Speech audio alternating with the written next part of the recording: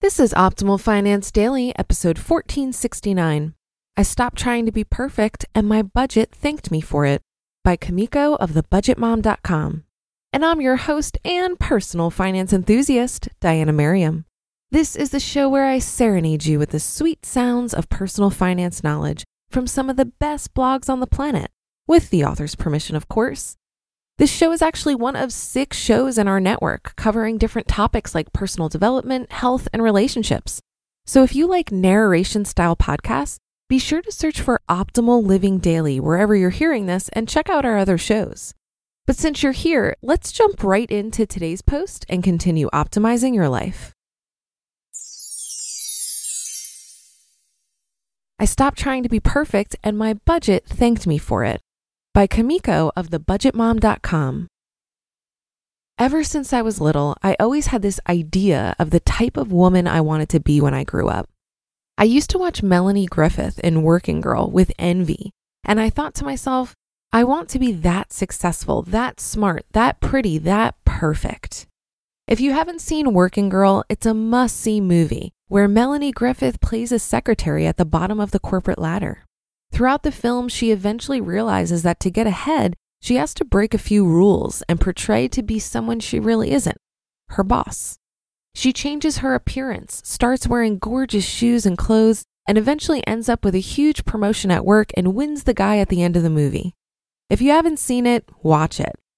So, as a little girl, I developed this image of the type of woman I wanted to become, what I wanted to look like, act like, be like. I developed this craving for fashion and clothes, and it slowly spiraled out of control. With all the new clothes came expensive hair appointments, nail appointments, new shoes, waxing appointments, and tanning sessions. At the age of 25, the reality of what it took to portray this woman that I wanted to become hit me hard. I just started a new job in the financial industry, just graduated college with a pile of student loans, I had seven racked up credit cards, and my financial life was a mess. The perfect woman I had imagined in my head was no longer someone I could pretend being. To dig myself out of the debt hole I created, I had to take a hard look at not only the numbers, but at my behavior. In the movie, Melanie Griffith's boss tells her, quote, dress shabbily and they notice the dress. Dress impeccably and they notice the woman. End quote. As I looked at my closet filled with brand named clothes, dresses that I never wore, shirts with the tags still on them, I realized that most of the purchases I made over the years were things I didn't even like. I tried to be the woman who was always on trend, the one with the new fossil tote in ivory and beige, or the new off the shoulder dress that you've probably seen everywhere lately. I tried being that woman, and the moment I finally got comfortable wearing something that I wouldn't usually wear, it would go out of style just as fast. You see, needing to look a certain way happens like clockwork. The more I tried to keep up, the more I would fail. I eventually learned that I don't want to be like everyone else. The real fashion is about making your own choices, creating your own style, and wearing jeans when everyone else is telling you to wear a dress. It took me two years and five months to dig myself out of the financial mess I created trying to be perfect. To this day, I still get ideas in my head that I should be a certain way and that my life would be easier because of it. If I just had perfect skin and hair that just magically looked good all the time, I could spend less time getting ready in the morning and spend more time doing things that actually matter to me.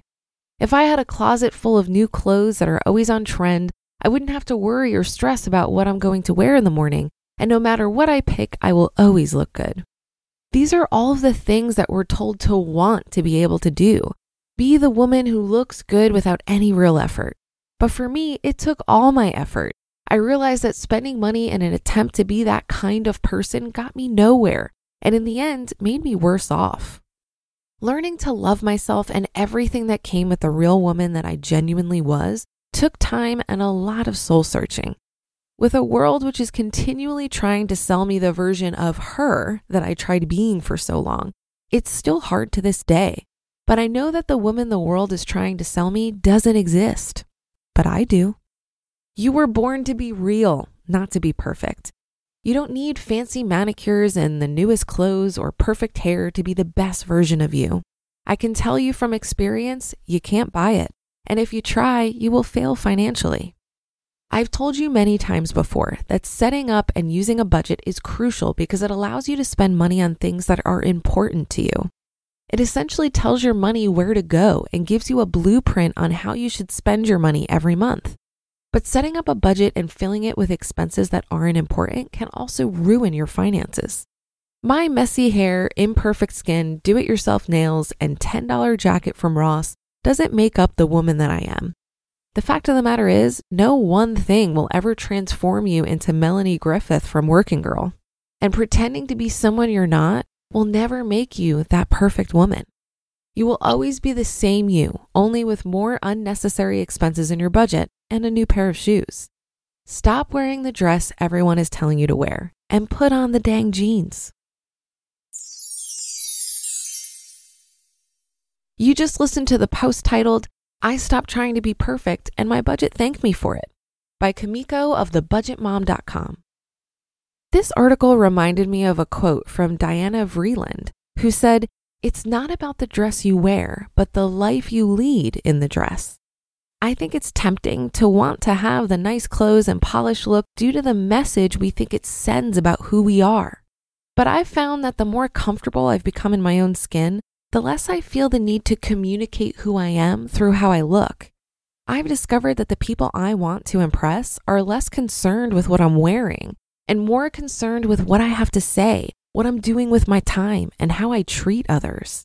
And the more time I spend around people who have reached financial independence and have the kind of wealth where they can do whatever they want, the more I realize how immune they are to this kind of posturing with fancy looking stuff.